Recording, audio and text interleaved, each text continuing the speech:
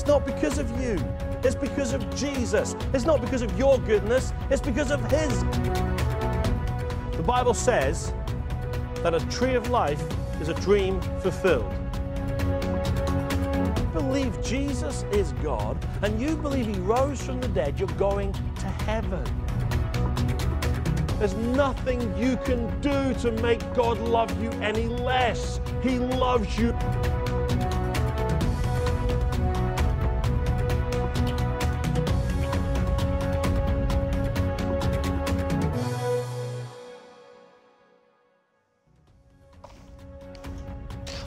My name is Ben Conway. I'm the lead pastor of Tree of Life Church in Dagenham in Essex. That's in the northeast of London. And I'm also the founder of Tree of Life Family, which is a growing network of growing churches. We have churches right now in Dagenham every weekend, in Guildford every weekend, in Watford every weekend, in Brentwood every weekend, and in Croydon every weekend. We're also planting churches in Cambridge and in Dorset and in Suffolk and in the West Midlands in Nuneaton. So um, we have at least one meeting a month in all those places, and we're building towards weekly church meetings and midweek house groups, and uh, we're having a great time. We love planting churches. We love helping people understand God's word. We love setting captives free. We love seeing the sick healed, and we love advancing God's kingdom. Well, I'm just really glad you've joined us today on Tree of Life Church TV, and uh, we're very glad to have you with us. And this is a second part of a little series I'm doing on the love of God, on the fruit of love that's inside us. Romans 5 says very clearly that the love of God has been shed abroad in our heart by the Holy Spirit. And so you might be going, I need more love. No, you don't need more love. You have the love inside you. You've got to stop looking for that love and start believing it's inside you. If you're a born again Christian, that love is inside you. And you need to start living by that love. And if we start living by that love, we're going to live in victory. In your spirit right now, you're filled with love. And so you need, just need to know what that love is. And the more you know what it is, then the easier it is to follow the Spirit and follow that love and walk in life victory victory and inherit the kingdom of God and change the world. And that's what we're here for. And so that's wonderful and that's exciting. And so 1 Corinthians 13 and verse 4 starts off by saying, Charity suffereth long in the King James and is kind. Charity envieth not. Charity vaunteth not itself, is not puffed up. So there's some things we can learn about the love of God. The Amplified is beautiful. The Amplified reading of 1 Corinthians 13 4 to 8, it says this Love endures with patience and serenity. Love is kind and thoughtful, is not jealous or envious Love does not brag and is not proud or arrogant. It is not rude. It is not self seeking. It is not provoked, nor overly sensitive and easily angered. It does not take into account a suffered wrong. It does not rejoice at injustice, but rejoices with the truth when righteousness and truth prevail. Love bears all things, regardless of what comes. Love believes all things, looking for the best in everyone, hopes all things, remains steadfast during difficult times, endures all things without weakening. Love never fails. It never fades or ends. But as for prophecies, they'll pass away. As for tongues, they will cease. As for the gift of special knowledge, it will pass away. And if you start to fill your mind with those words, if you start to read that every day, you will start to see what love is. And the love inside you will start to lead you. And you will understand that love, that spiritual love. And that's good. That's really good. And you'll start to live that love, and things will end up better for you. Your life is always better when you walk in the spirit and walk in love than if you walk in the flesh and walk in selfishness. Always. Because you walk in the flesh, according to Galatians 5, that's what we talked about last week, you'll bite and devour one another. You'll destroy each other. You walk in love, you'll edify one another. You'll build one another up. You'll encourage one another. You'll comfort one another. You'll love one another. You'll be kind and patient for one another. I love how that starts. It says, Love endures but with patience and serenity. I know some people who endure some stuff, but you would not call them patient. You would not call them serene. You know, you would, they don't know the love of God. They're, they're putting up with some stuff. They're enduring some things, but they are not serene. They are, they're enduring long because they don't know what else to do. But the whole world, the whole world and their dog knows that person is enduring. Uh, you know, sometimes I, I do marriage counseling and one of the marriage partners is behaving badly. They're acting up, and the other's enduring. They're enduring long, but often they're not peaceful with that enduring. And uh, they let the other one know all the time how much they're suffering. They let everybody know how much they're suffering. That's not the love of God. And you have to remind yourself, and you have to put up with someone who's not acting in love to you and someone who's bad to you, and you have to love them and endure. And how do I do that with peacefulness and serenity? You have to remind yourself, well, God puts up with all of us. I mean, he never lets us know. He's never unkind about it. You know, some of you are listening to this and making the decision, I'm going to walk in love. God is not going, well, it's about time too. Uh, it's about time too they start walking in love. For goodness sakes, I've had to put up with them for so long. No, God's not like that. God endures long. He is love, and he endures long with peacefulness and serenity. God is not going, well, it's about time too. And if you have the nature of God, you shouldn't be saying that either. You shouldn't be walking and talking those things. God's love doesn't fade while it's enduring long. It doesn't get tired and ratty and narky while it's enduring wrong long. It's, it's, it never fails. The love of God never fails. And that love is inside you right now. You might not be able to feel it, you might not be able to see it, but it is there. The Word of God says it's there. And if you believe the Word and walk in faith and start to believe that the love's inside you, that fruit of love comes out of you. And I tell you what, you bear all things no matter what happens. And that's powerful. You know, sometimes someone will come to me and say, I just can't love that person anymore. If you're born again Christian, that's a lie.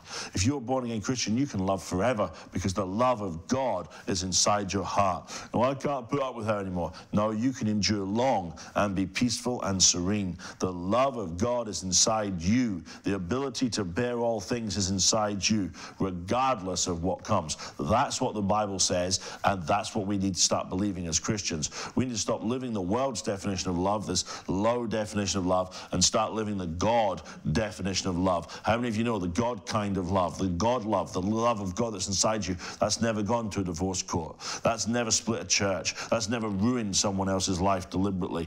You know, and I've got to remind myself. You know, I, am pastoring hundreds of people across our church network. And uh, sometimes I have to remind myself, I've got to put up with this, put up with that. And I think, well, God puts up with billions of us, including me. And when I'm not loving, and when I take a while to get it, and when I'm whatever, you know, so I just remember how patient God is with me. And that helps me walk in that same love for other people. The love of God bears all. When you start thinking of what God has to put up with every day, going to make you start laughing. You know, God is the pastor of all of us and what he has to deal. Oh my goodness, you know. And so God, all God's asking us to do is he put that love inside us. All he's asking us to do is walk in it. All he's asking us to do is believe it. That's, that's actually quite easy. He, God, God's not asking you to do something He's not doing. He doesn't ask you to forgive someone and then He's not going to forgive them. He forgives. He's asking you to forgive because He's already forgiven you. In Christ, you're already forgiven. He said, Love one another, and you can love one another. Do you know why? Because the love is inside you already. The love's already there. And the love inside you can bear all things. That's the truth. That's what the Word of God says. I'll tell you what, there's been days I wanted to quit the ministry. I'm looking at you now, and you're watching me, and you think, really?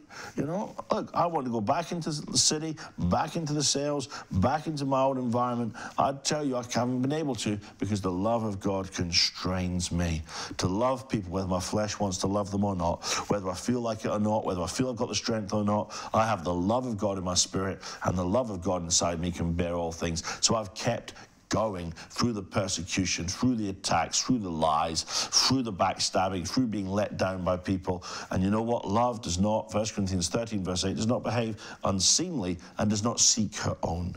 Your flesh, oh, all it wants to do is seek its own. But your spirit just wants to love and just wants to never seek its own. That's why your spirit and flesh are at war.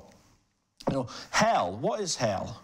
Hell is a bunch of people abandoned to their flesh, all about them. Everything's about them. Heaven is a bunch of people abandoned to their spirit. everyone in heaven is going to want to help you and encourage you and bless you. And it's going to be beautiful. The Amplified says this love does not insist on its own rights and is not self seeking. The agape of God is not selfish, it's not self seeking, it never puts itself first. Some people are always putting themselves first, they're always putting them first, always self seeking.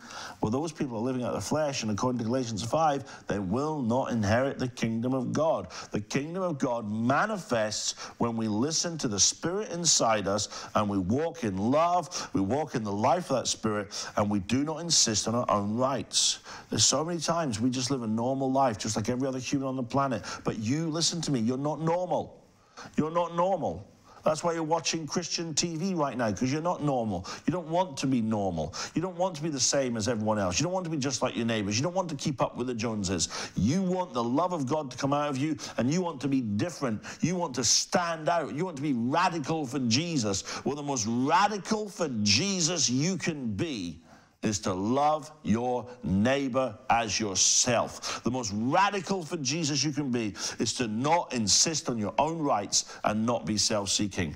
It, it's that simple. It's to walk in love. That's what is completely opposite to everything going on in the world. It's completely opposite to your own flesh. The spirit inside you, you let it out of you and you start walking in love. And so many times, when you hear Christians and they sound just like the rest of the world. I know my rights. I know my rights. I got my rights. I got my rights. Love does not insist on its own rights. Love does not insist on its own rights. That's what the Bible says.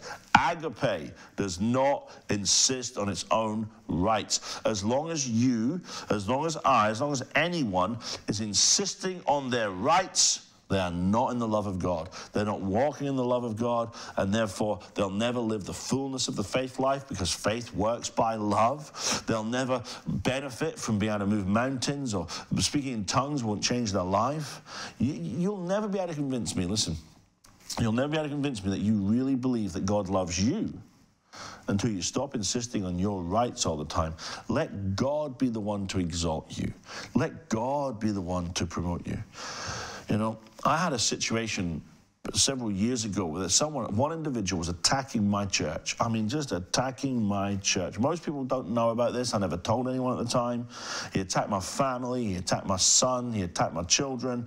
Um, he locked one of my children in a room. He, he caused people to leave my church because he told so many lies about me. This man was just so vicious and so nasty. He, he broke my relationship with other ministers. Um, but again, just by telling lies. Some of the stuff's only been repaired this year. And I'm telling you now, especially especially when it was an attack on my family and my boys. There was three times, and I'm being honest with you now, you can shoot me down because I'm being honest, I'm just telling you the truth. There were three times I got in my car and I was going to drive round to him and I was going to punch him in the face and sort him out. I was going to not be in love, uh, especially the stuff with my family. I was really in the flesh. I really was angry, um, but I couldn't. I got in the car and I couldn't drive. I couldn't move. I couldn't get. To, I couldn't do anything. Do you know why? Because the love of God has been shed abroad in my heart and I, I will not take an action to destroy another person. And you know, I, you know, what you do when you don't know what to do is you pray in tongues. That's what I always do when I don't know what to do. And if you can't pray in tongues, you need the baptism of the Holy Ghost, you need to be filled with the Spirit and pray in tongues. Give us a call, we'll pray with you. We'll get you filled with the Spirit and speaking with tongues over the telephone. That's no problems. We've done that many times before. But I just prayed in tongues and prayed in tongues, prayed in tongues. And you know, here's the good news. When you pray in tongues, you're praying in the Spirit. If you're praying in the Spirit, you're praying in love because God is love and God is Spirit. Therefore, Spirit and love are the same. Therefore, when you pray in the Spirit, you're praying in pure love. You know, when you pray in tongues, you're never praying, smash their teeth, Lord, because you're praying in love. When you pray in tongues, you're never praying, oh, God, sort them out, deal with them, get them, get them now, because you're praying in love. And I started praying in love and praying in love, and God spoke to me. And He said, You'll have three chances to knock this man over, but you must not take them. Your hands are not to push something over, not to break, but to rebuild. And those three chances happened. I had the chance to expose some of the stuff he was doing. He wasn't just treating me badly, he was treating a lot of people badly. But I'm so glad, I'm so glad, looking back at that whole situation, I'm so glad I followed the love of God. I'm so glad because the Bible says when you walk in the Spirit, you do not fulfill the lust of the flesh. And it says, if you do the lust of the flesh, Galatians 5, you don't inherit the kingdom. And I'm telling you now that some of the prosperity in this ministry, some of the advancement in this ministry, the fact that you're watching me on TV now is because I refused to walk in the flesh and I walked in love. And some of you are desperate to get promoted in your ministry, desperate to get promoted at work, desperate just to be promoted in life. And that's, that's a God given dream. God wants you to dream big. Absolutely. God wants you to have big things. But if you're always pushing and pressing, that's the flesh. Learn to live in love. Learn to love one another. Learn to treat your neighbor better than yourself. Learn not to take offense. Learn not to carry around. Uh, suffered wrong. And I tell you, God will exalt you. God will promote you. I don't get it right all the time any more than anyone watching this. I absolutely don't. But I'm, I'm not where I used to be. You know, I haven't arrived, but I've definitely departed. And, um, you know, the love of God is inside me 100%, just like it's inside you 100%. And we can learn to yield to it and live by it. And we can do this, amen. We can win. We can walk in love to such a way that the UK, that Europe, that the world will never be the same again. And look what it says there in 1 Corinthians 13. It says, Love takes no account of the evil done to it. Love does not pay attention to a suffered wrong. Your spirit never cares when someone wrongs you. Have you not? But your flesh does. Have you noticed that? Or your flesh loves to get obsessed with suffered wrongs. Your flesh makes lists of suffered wrongs. They did this, they did this. I know you wanted to tune in today and have a great healing message and a message on prosperity and a message on the goodness of God.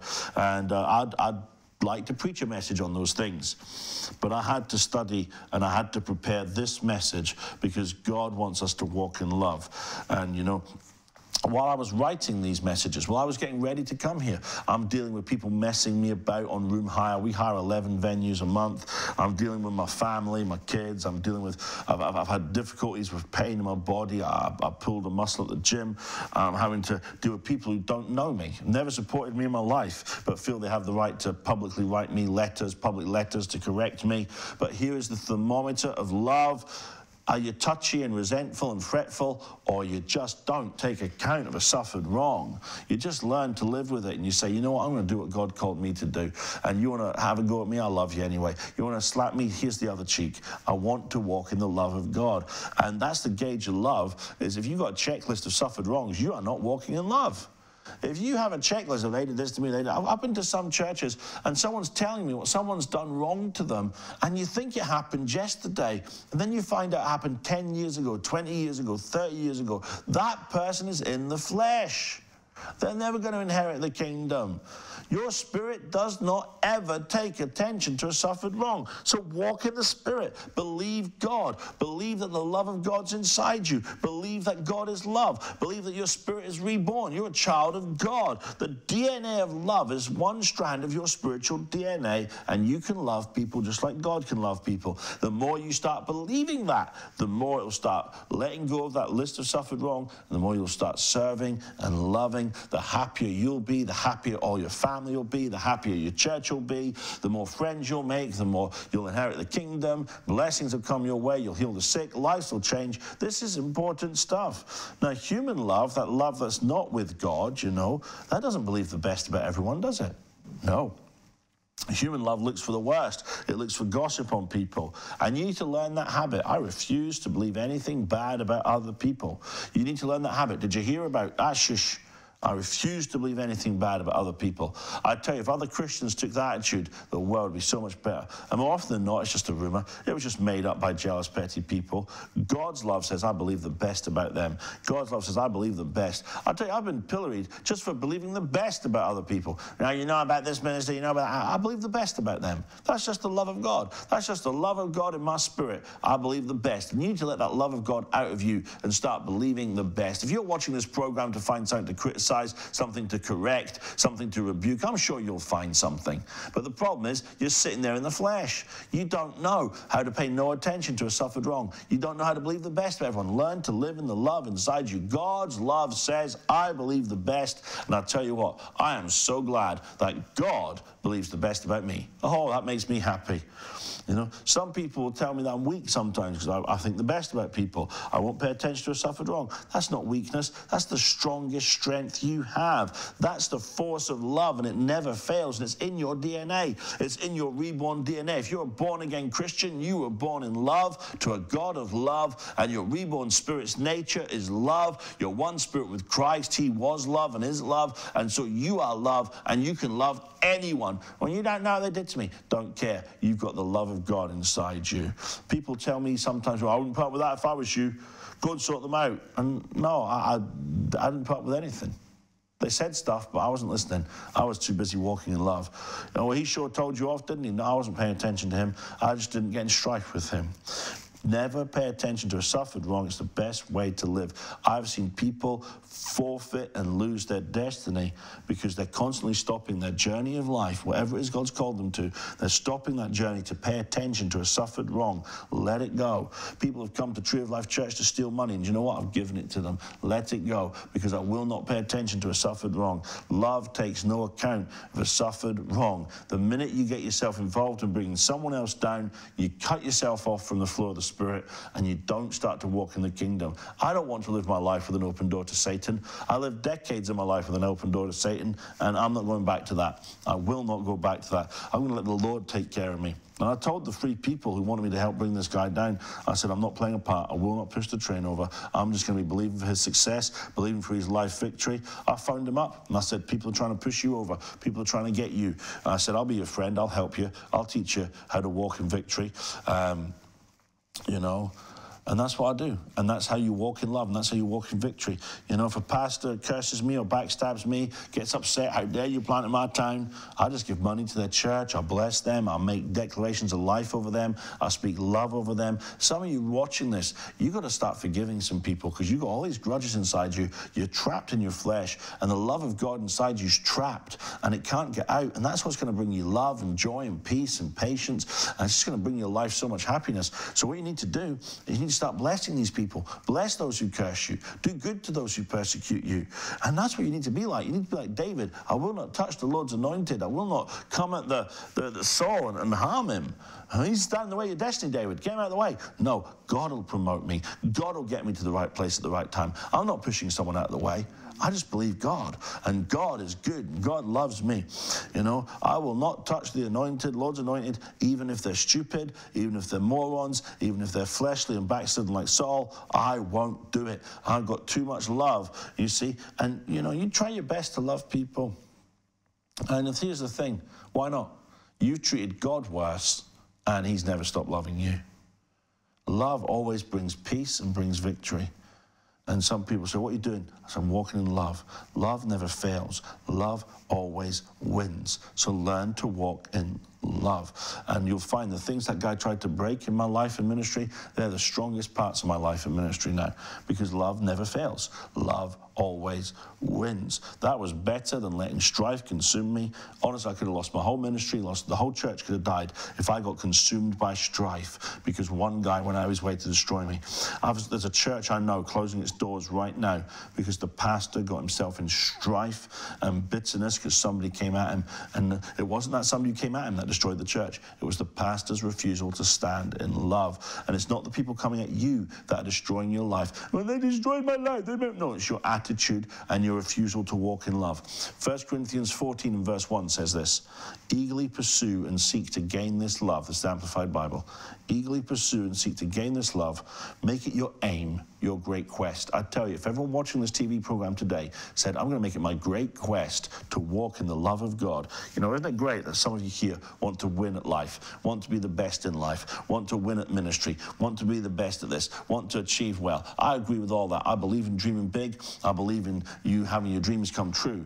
But make love your highest quest. Make being the most loving person on the, the, the, planet your great quest. Your great quest in life should be how do I pursue agape? How do I walk in agape? I know God put it in there, so I'm going to let it out. And I tell you what, when that love of God is in you and flows out of you, anyone can change. The hardest of people can be softened. The most violent criminal can be calmed. You start loving your wife like this, it might even change your wife, might even change your husband. Wow, that'd be a miracle. Amen. Come on, some of you know what I'm talking about.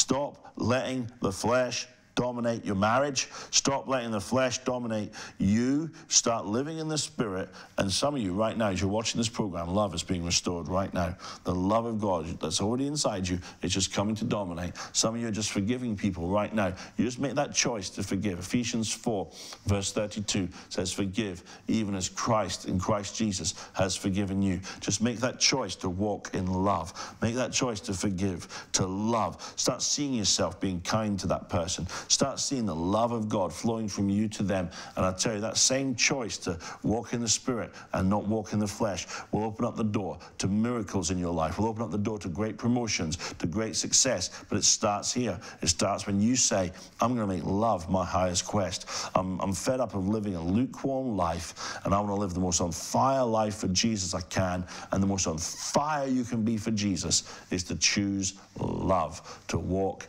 in agape.